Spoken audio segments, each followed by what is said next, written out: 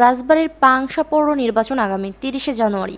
শেষ সময় প্রচারণায় ব্যস্ত সময় পার করছেন সকল প্রার্থী। ভোটারদের দাঁড়ে দাঁড়িয়ে যাচ্ছেন প্রার্থী ও স্বপক্ষের কর্মীরা। আইন শৃঙ্খলা পরিস্থিতি তদারকিতে রয়েছে মাঠে আইন প্রয়োগকারী সংস্থা। তাদের বক্তব্য, ভোট হবে সুষ্ঠু, সুন্দর ও উৎসবমুখর পরিবেশে। এর জন্য যা যা করার তাই করা হবে।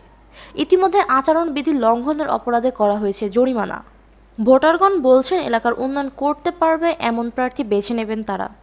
মেয়র প্রার্থী রয়েছেন তিনজন নৌকা প্রতীকের প্রার্থী মোহাম্মদ ওয়াজেদ আলী, ধানের শীষ প্রতীকের প্রার্থী মোহাম্মদ রইসুদ্দিন খান ও স্বতন্ত্র প্রার্থী জগ প্রতীকের নির্বাচন করছেন মোহাম্মদ ফজলুল হক ফরহাদ।